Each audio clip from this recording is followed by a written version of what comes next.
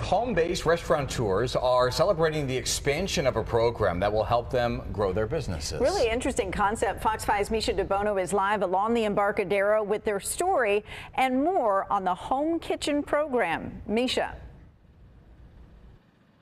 Yeah, hi Kathleen, hi Andrew. The program's called Micro Enterprise Home Kitchen Operators, and it's turning people with a passion for food, for cooking, into entrepreneurs and restaurateurs.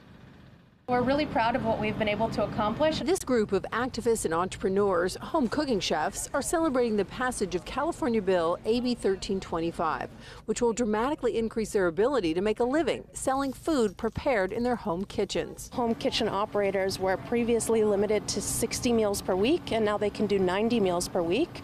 And then it was $50,000 in gross annual sales, and now that's been up to $100,000 in gross annual sales. Roya Bagari is executive director of Cook Alliance, a nonprofit that works to support and legalize home based businesses.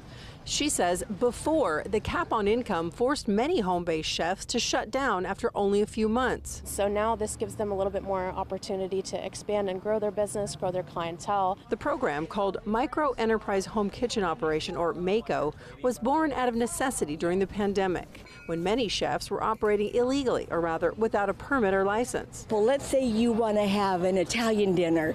I turn my whole backyard into Italy. Erlene LaCour started cooking for neighbors during the pandemic for free, but as her clientele grew, she realized this was a viable business opportunity and needed a license and permit. That's how she found MEHKO.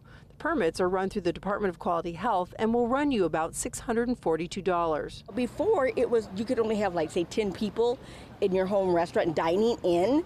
Um, where now I can have up to 25 or whatever my capacity and the fire department says. Governor Newsom signed the bill expanding the program in July. Right now, it's nearing the end of a two year trial.